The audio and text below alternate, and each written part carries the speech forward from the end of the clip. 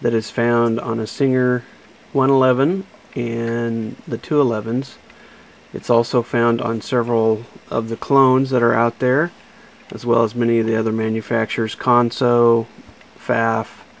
A lot of the older machines uh, use this technology, which is really, really basic, uh, but it can save your machine from some serious damage, um, especially when sewing heavier materials and you hit uh, what I like to call bricks. Um, anyway, this is as the it sits in the machine. It's on the lower side. This is your um, your gear for your timing belt. Your timing belt goes in here. Uh, you, so normally when you tip the machine back, you would not see this exposed. This would be covered by a timing belt.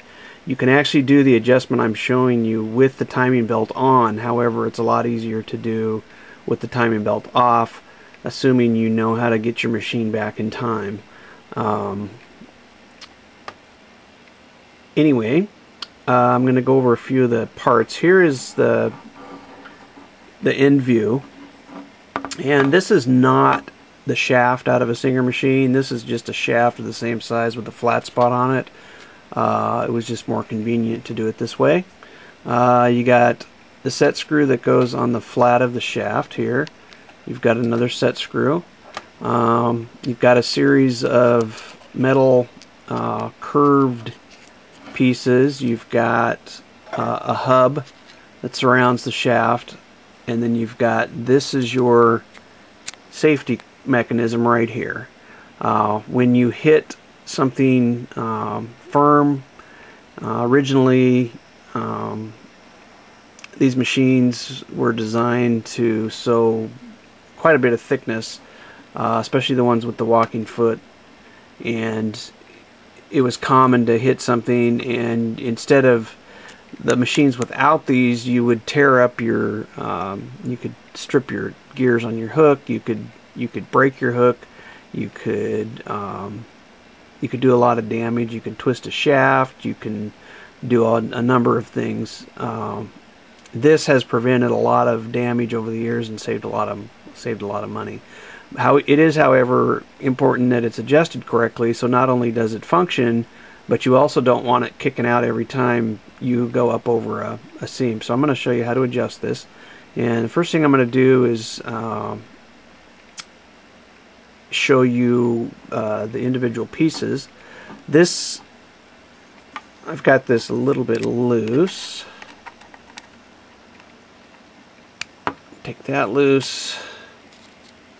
Take that loose. Okay, so this is how it sits on the machine. I'm going to leave it on the shaft so it's easier to get in there.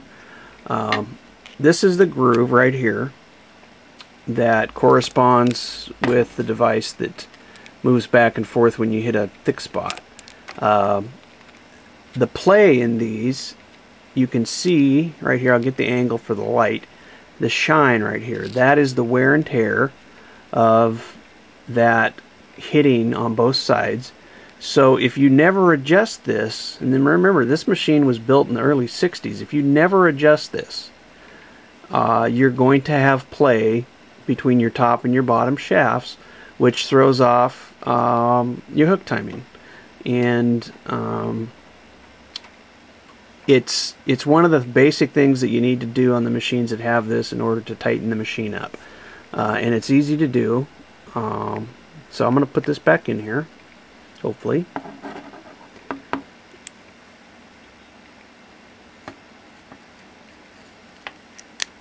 Okay. So, when your machine um, hits a thick spot, now normally this your belt would drive and it turns this direction if you're looking at it from this, you know, if you're sitting at where you sew, and you turn it this way uh, with the hand wheel towards you to operate the machine. Um, this is what actually drives the lower shaft is this little uh, tab right here in this little tapered V. Um, when you hit something thick, the spring pressure on this actually pops out. Okay? That simulates hitting something what I like to call bricks. So at that point, the lower shaft is stopped. Your pulley continues to drive, but it's not driving the lower shaft. So you've isolated uh, your upper shaft from your lower shaft. Therefore, you're preventing, if the bottom shaft is jammed for some reason, you have prevented damage to your uh, hook components, your gears, and stuff that costs a lot of money. Um, so now you'll notice on this particular and most of the ones that I have and I've used in the past, this is the lever here that re-engages this after you've hit a thick spot right here. Normally, and your machine may have this, there's a spring that holds this in tight. And all you have to do in order to re-engage your machine is to um, clear the jam out of wherever it may be. And then you turn your hand wheel over backwards um, this direction. A spring would hold that in that notch. You continue to rotate and it re-engages this and you're ready to go again. Now in the factory, I take these off because if if an operator jams her machine and she knows that she can turn it over backwards and re-engage it, she may not have the problem solved and she can make matters worse if she continues to sew and it keeps popping out. Um, so I disconnect this so it requires her to call a mechanic over to uh, actually what I do is and the way these work is I take a screwdriver and I actually hold it there, rotate the machine backwards, and then I pop it back in, and then I take care of whatever caused it to to pop out in the first place. So to get the slack out of this thing, uh, it's fairly simple. And right now you'll see if you look at this, let's see how close I can get. There's a lot of there's a lot of play in that. Okay, that's going to transmit down to your hook and you can tighten up the gears you can do all this stuff and you're still going to have this play right here unless you adjust this. Now I know uh, some comments I've heard and I've read it myself in the Singer manuals is that uh, it's factory set. Well I'm sorry but if that is been rocking since the 60s you're going to get some wear in there and it's going to be tightened up. And um, this is the adjustment screw right here.